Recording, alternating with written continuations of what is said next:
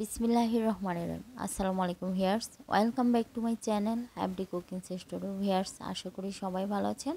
তো আমি আজকে সহজভাবে দেশি মোরগ রান্নার রেসিপিটি দেখাবো ভিয়ার্স আলু দিয়ে দেশি মোরগ রান্না আসলে খুবই মজাদার। তো ভিয়ার্স আমার রেসিপিটি দেখে অবশ্যই কমেন্ট করবেন। আমার চ্যানেল যারা সাবস্ক্রাইব করেনি ভিডিওটি দেখে ভালো লাগলে অবশ্যই সাবস্ক্রাইব করবেন ভিয়ার্স তো বিয়ার্স দেখুন কতটা লোভনীয় লাগছে। এখন আমি যা যা উপকরণ নিয়েছি, সেগুলো দেখাচ্ছি। এইখানে আমি এই যে মুরগিটাকে ভালো করে কেটে ধুয়ে পরিষ্কার করে নিয়েছি। তো মাঝে মধ্যে দেশি মোরগ, মুরগি, এগুলো খেতে হয়। আর নিয়েছি আমি এখানে পেঁয়াজ কুচি নিয়েছি, আলু টুকরো করে কেটে নিয়েছি। আদা, রসুন বাটা নিয়েছি, তিন টেবিল চামচ পরিমাণ। তো বের সেই উপকরণগুলো দেখালাম আর যে মশলা আইটেমগুলো দেব, সেগুলো আমি পরবর্তীতে দেখিয়ে দেব। এখন একটি প্যানে আমি এই যে মুরগির মাংসগুলোকে নিয়ে নিয়েছি। এখন আমি দিয়ে দিচ্ছি হলুদের গুঁড়ো, এক চা চামচ পরিমাণ। মরিচ গুঁড়ো, এক চা চামচ পরিমাণ।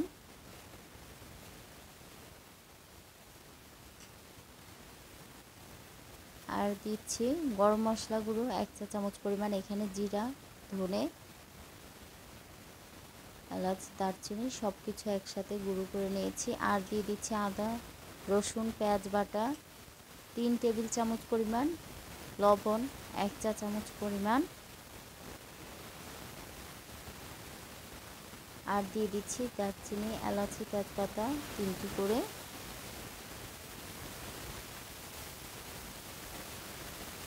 এখন যে পেঁয়াজ কুচিগুলো নিয়েছি সেগুলো দিয়ে দিচ্ছি বিয়ার্স তো এই মুরগির মাংস রান্নাটা কিন্তু অনেক মজাদার। আপনারা এভাবে রান্না করে দেখলেই বুঝবেন কতটা মজাদার হয়। তো এইখানে আমি পেঁয়াজ কুচি দিয়ে দিয়েছি, এক কাপ পরিমাণ। আর যে আলুগুলো টুকরো করে নিয়েছি, সেগুলো দিয়ে দিলাম।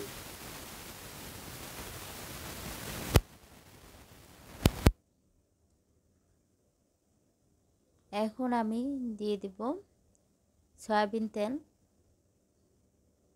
আধা কাপ পরিমাণ। এখানে আপনারা চাইলে সরিষা তেল দিতে পারেন। তো বেশ, আমি সয়াবিন তেল দিয়েই রান্নাটি করছি। ভালো করে আমি এই যে কাঠির সাহায্যে ম্যারিনেট করে নিচ্ছি। তো দেশি মোরগ, আগে সিদ্ধ করে পরে ভেজেও রান্না করা যায়। তো আমি আজকে সহজ পদ্ধতিতে রান্না করে দেখাচ্ছি বিয়ার্স আর যেভাবে মুরগির মাংস রান্না করা হয়, সেভাবেই স্বাদ লাগে। তো বেশ ভালো করে ম্যারিনেট করে নিচ্ছি। দেখুন, মশলাটা যেন মাংসের সাথে ভালোভাবে মিশে। এই জন্য আমি এক ঘণ্টা রেস্টে রেখে দিব।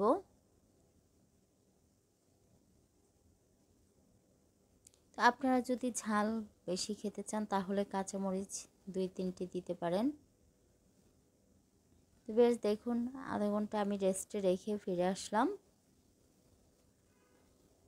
এখন আবার একটু নেড়ে চেড়ে আমি পরবর্তী প্রসেসে চলে আসলাম ইয়ার্স চুলায় আমি মিডিয়াম আঁচে রেখে এই মুরগির মাংসটাকে একটু কষিয়ে নেব পাঁচ মিনিটের জন্য।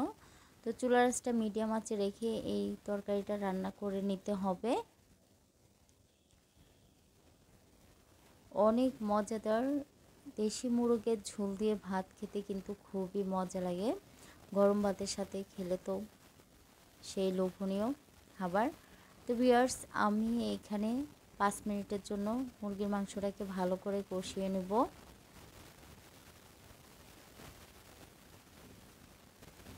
তো পাঁচ মিনিট পর ফিরে আসলাম। দেখুন, এই যে মাংস থেকেই কিন্তু পানি উঠেছে অল্প পরিমাণে। তো পাঁচ মিনিট এভাবে আমি একটু ভেজে নিচ্ছি।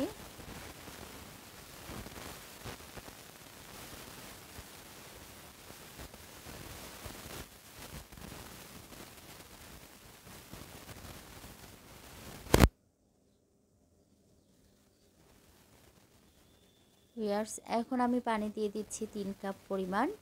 দিয়ে আবারও নেড়ে চেড়ে একটু ঢাকনা দিয়ে পনেরো থেকে ২০ মিনিটের জন্য রান্না করে নিব। তো চুলার আঁচটা কিন্তু মিডিয়াম আঁচে রেখে আমি রান্নাটি করে নিব। এখন ঢাকনা দিয়ে আমি পনেরো বিশ মিনিটের জন্য রেখে দিব।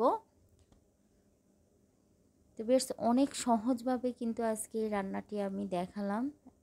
এখন এই যে দেখুন, পনেরো বিশ মিনিট পর ফিরে আসলাম বিয়ার্স দেখুন কতটা সুন্দর হয়েছে। তো ঝোলটাও ঠিকভাবে মাখা মাখা হয়েছে। আর মাংসগুলোও ভালোভাবে সিদ্ধ হয়েছে বিয়ার্স এখন আমি চুলা থেকে নামিয়ে নেব। তো এভাবে মুরগির মাংসটা সহজভাবে রান্না করে দেখবেন। দেখবেন এই ঝোল দিয়েই নিমেষে এক প্লেট ভাত খাওয়া যাবে বিয়ার্স এখন এই যে আমি পরিবেশন করে দেখাচ্ছি, দেখুন কতটা সুন্দর হয়েছে। তো বিয়ার্স আমার এই রেসিপিটি ফলো করে অবশ্যই রান্না করে দেখবেন দেখবেন কতটা মজাদার হয়। আর আমার রেসিপিটি কেমন হয়েছে অবশ্যই কমেন্ট বক্সে কমেন্ট করে জানাবেন। আর যদি কোনো রেসিপি লাগে অবশ্যই বলবেন, আমি দেওয়ার ট্রাই করব বিয়ার্স